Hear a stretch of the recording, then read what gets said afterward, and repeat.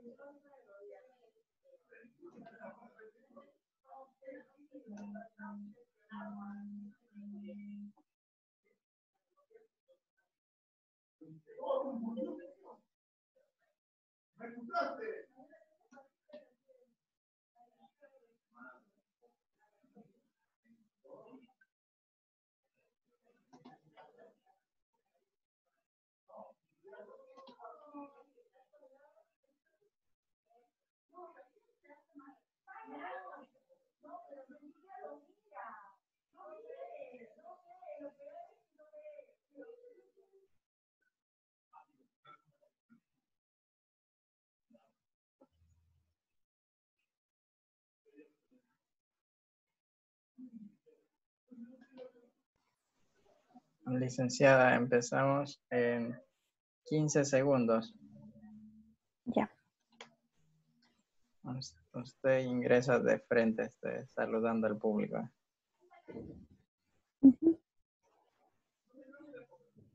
Ya, ahora sí empieza la cuenta en retroceso, ¿ya? Ya. 10, 9,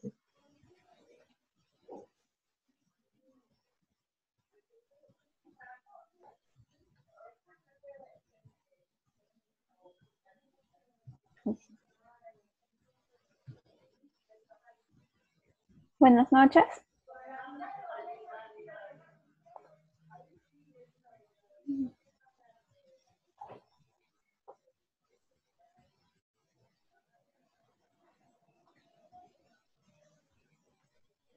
Buenas noches con todos. Empezamos con nuestra serie de capacitaciones, en estos momentos con el tema de bioseguridad. A continuación, con la licenciada representante del INS, que va dictar el, día de hoy, mañana y pasado mañana.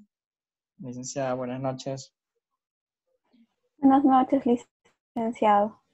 Buenas noches, soy la licenciada Chandel Farroña y García, trabajo en el Instituto Nacional de Salud eh, como parte del equipo de respuesta rápida frente a COVID.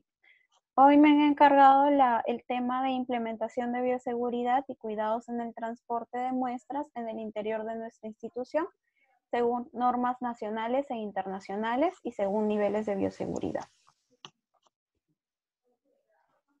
Para refrescar un poquito los conceptos sobre bioseguridad, hay que recordar que es un conjunto de normas y medidas hechas para protegernos, nosotros somos el personal, frente a riesgos biológicos, químicos y físicos, a los que nos vemos expuestos en el desempeño de nuestras funciones.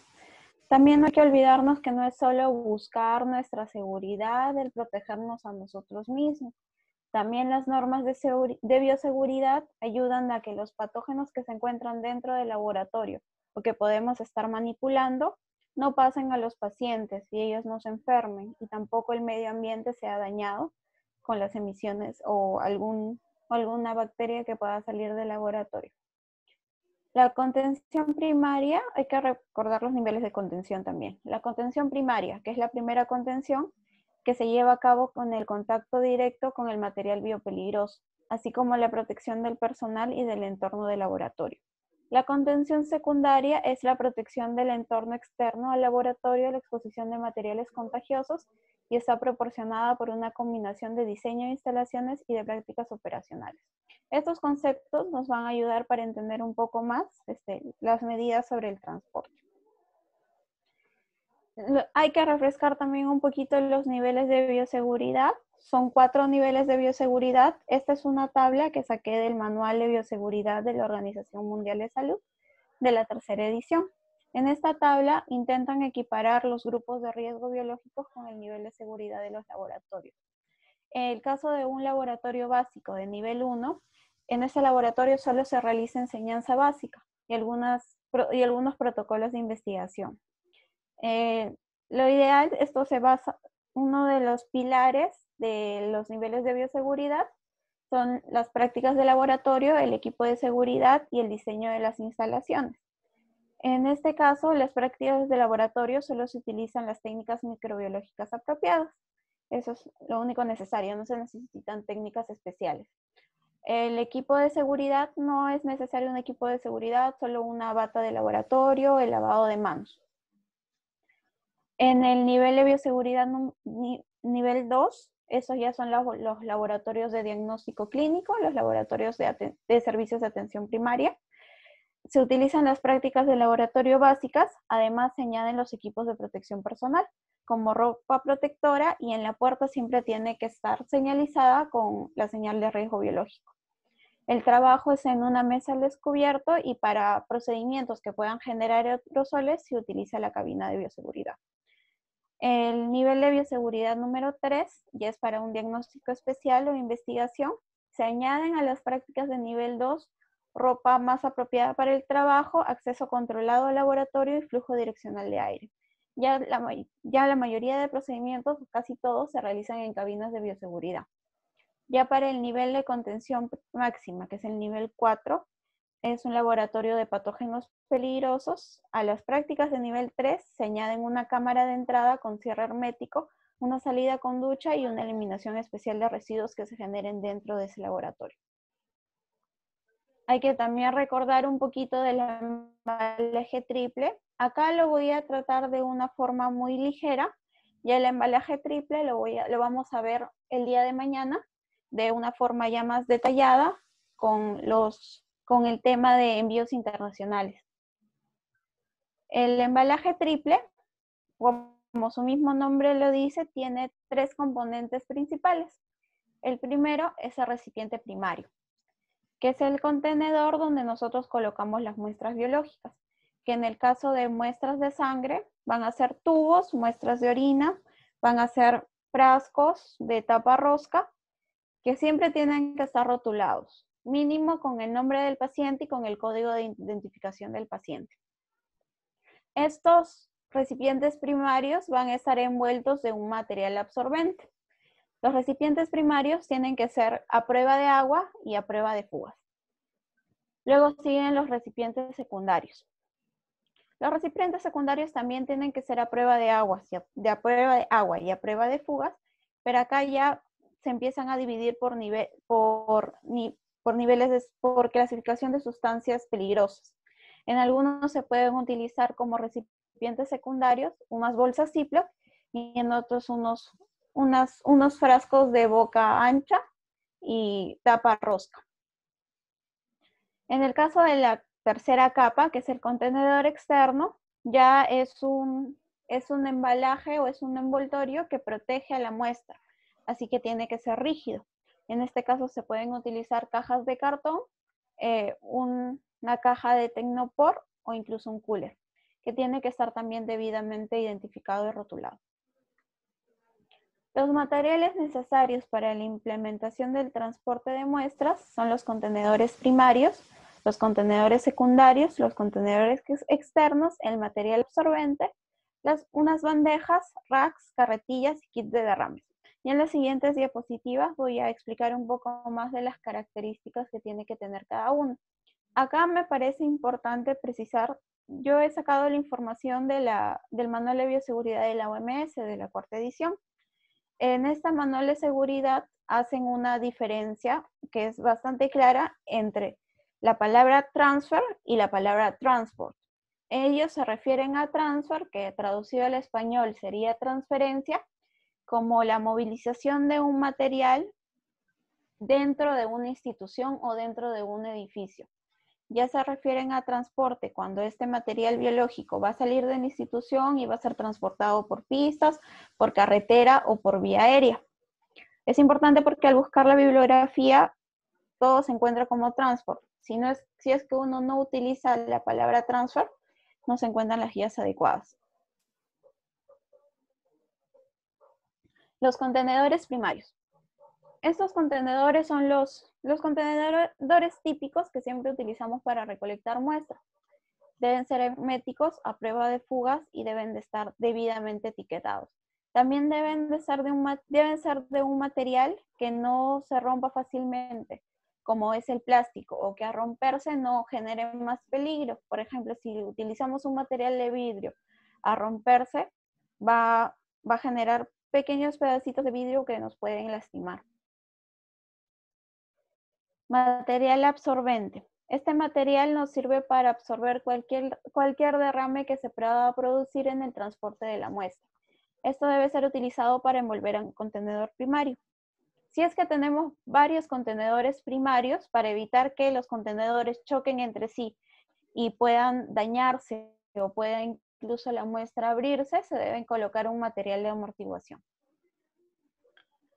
Los contenedores externos, los contenedores secundarios, en este caso son contenedores secundarios, son los que envuelven a los contenedores primarios.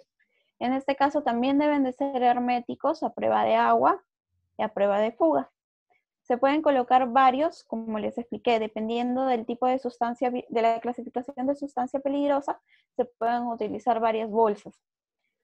Y también se pueden utilizar estos frascos de tapa rosca. Si ven en la foto, los contenedores secundarios están marcados, se tiene su señalización de riesgo biológico. Las bandejas y los racks. Las bandejas deben ser de preferencia hondas porque nos van a servir para transportar materiales, por ejemplo, para transportar frascos de medios de cultivo. Tenemos que transportar seis, lo debemos poner en una bandeja, que esta tiene que ser honda para que no se caigan los materiales. También debe de ser de fácil de descontaminar. Por ejemplo, podemos utilizar plástico, acero, pero tiene que ser un material que sea fácil de limpiar en caso de que haya un derrame. Los racks también los utilizamos para transportar tubos y estos racks también tienen que ser de un material fácil, de fácil descontaminación. Las carretillas nos van a servir para transportar material de un lugar a otro. En este caso, las carretillas que tenemos, bueno, que se ven en la imagen, tienen unos bordes. Estos bordes nos sirven para que las muestras no se caigan al, movilizarlas. Las muestras también tienen que estar colocadas de una forma ordenada. No podemos apilar una muestra sobre otra porque se va a caer.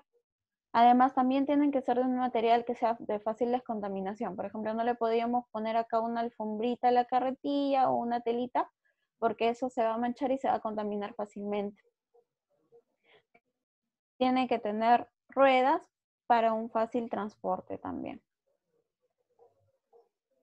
Y siempre tenemos que tener a la mano un kit de derrames.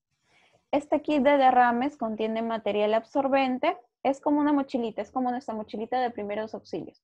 Eh, contiene material absorbente, un desinfectante a base de cloro, un contenedor de desechos a prueba de fugas y guantes reutilizables.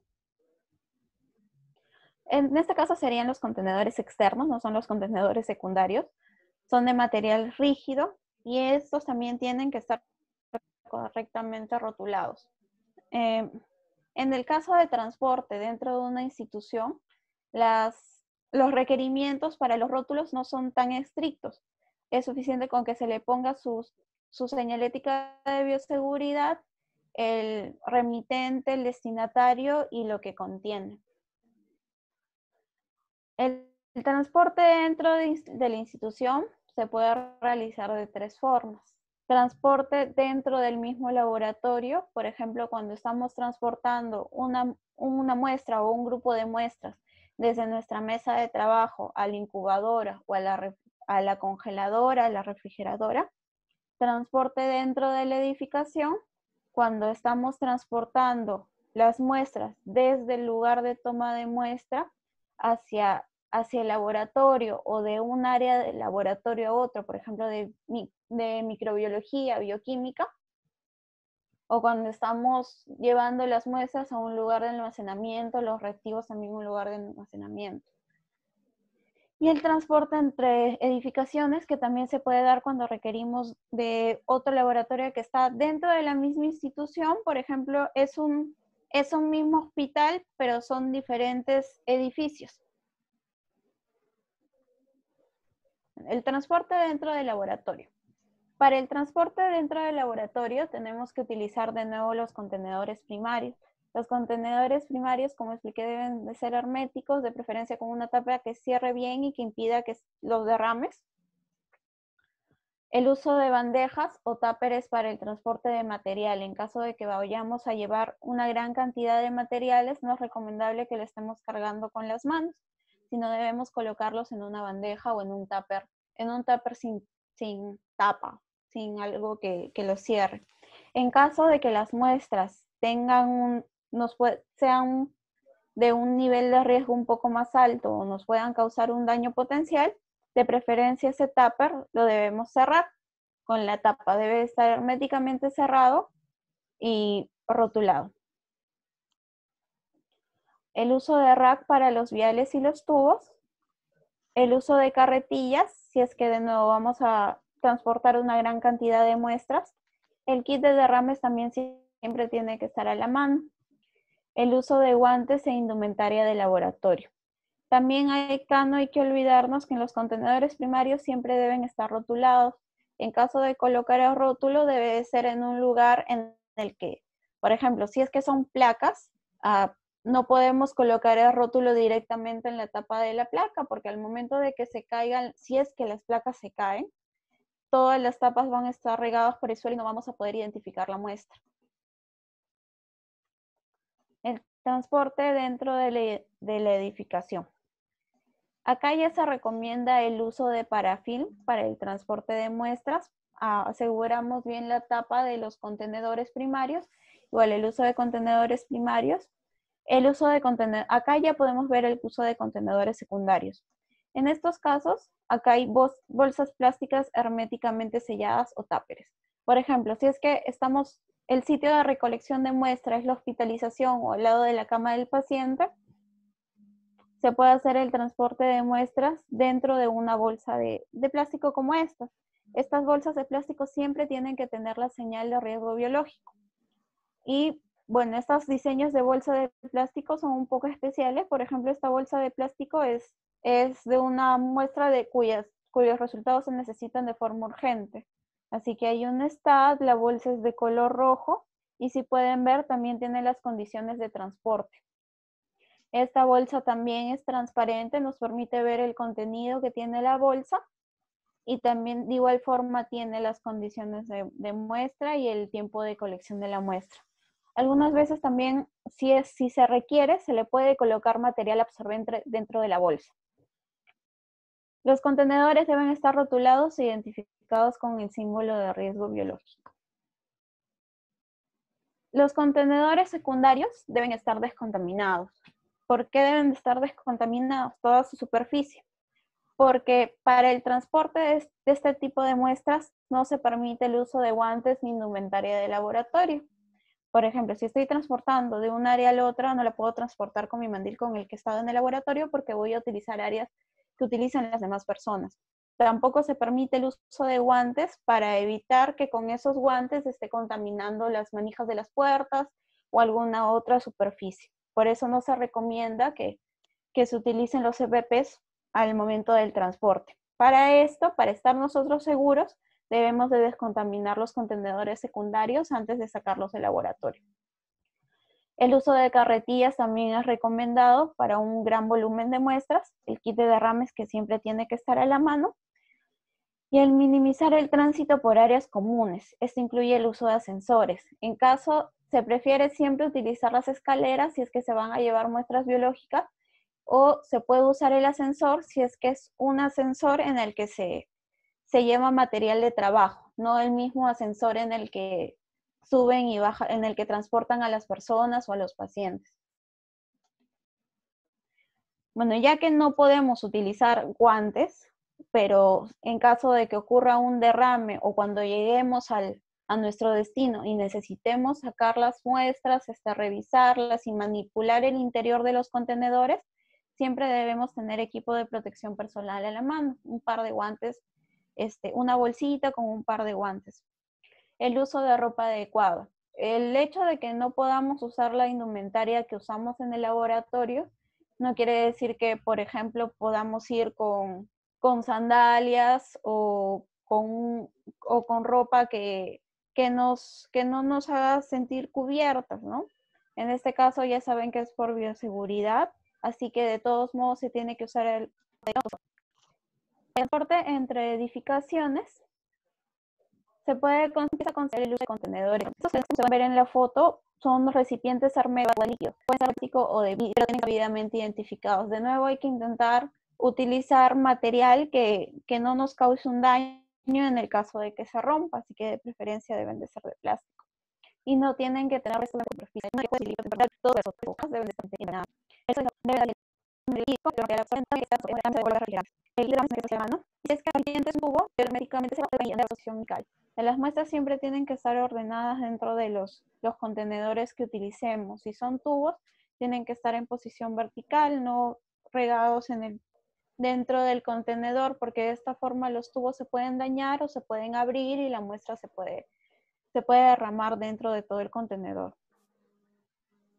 Algo que es importante en todo el transporte de muestras es la planificación. Esta planificación debe ser organizada y aprobada de, de antemano. La, la OMS en cada uno de estos puntos que les he mencionado, bueno, más que todo en los del transporte entre áreas y entre edificaciones, menciona la comunicación con el área, con el área destinataria se debe de haber aprobado que las muestras van a llegar ese día, cuántas muestras van a llegar y qué persona la va a recibir. Y como es algo tan importante como una muestra biológica, debe estar documentado en qué momento la muestra sale del laboratorio y en qué momento llega, a qué persona se, se le entrega la muestra y por qué motivo. Así que tiene que haber una documentación de cadena de custodia. El inventario de muestras, si es que se tiene, también debe ser actualizado. Se tiene que señalar que esa muestra ha salido del laboratorio y en el otro que esa muestra ha llegado. Bueno, en el caso de transporte de niveles, transporte de muestras por niveles de bioseguridad, ah, los manuales, bueno, el de la OMS no, no especifica qué nivel de bioseguridad, este, qué consideraciones debemos de tener por niveles de bioseguridad. Más que todos, pues la documentación encontrada es de laboratorios clínicos, de hospitales, por lo cual nos ubica en, en unos laboratorios de niveles de bioseguridad de 2 al 3. Sobre el transporte de muestras en el nivel 1 de bioseguridad no se encontró mucho. Otra cosa que me pareció muy interesante es que la mayoría de estas guías eran, bueno, estos protocolos eran brindados por universidades universidades que se dedican a la investigación y que tienen varios laboratorios dentro de un edificio y tienen que tener un protocolo para, para transportar las muestras de un laboratorio a otro. con respecto al transporte en el nivel de bioseguridad 4, bueno, lo encontré con un documento en el ACDC. A diferencia de los, de los, de las muestras de nivel de bioseguridad 2 a 3 que en el caso de un derrame no llega a causar una, un riesgo severo a la persona que lo está transportando. Ese, no hay, lo único que tenemos que hacer es controlar el derrame con los guantes que tenemos dentro del kit de derrame. Pero en caso de otros patógenos, como por ejemplo dentro del brote de ébola, sí se recomendaba que las muestras sean transportadas con EPP, que es diferente a los otros niveles. La mayoría de bibliografía en la que, en la que investigué es, fueron manuales de bioseguridad, como les mencioné, manuales de, universidades y de algunos laboratorios clínicos. El día de mañana vamos a seguir con las, con las charlas, con las ponencias. Mañana vamos a seguir hablando sobre el transporte, que ya viene ya la parte que es un poquito más extensa, que es el transporte por, vía, por carreteras, por vía aérea y por tipo de muestras. Mañana va a ser a la misma hora, a las 7 de la noche. Y si es que tienen alguna pregunta, la pueden enviar, por favor. Agradecemos, licenciada, por su ponencia. Entonces, cualquier pregunta que tengan, escriben al chat el día de mañana estaremos respondiendo en la sesión de mañana a la misma hora, 7 de la noche. Gracias con todos.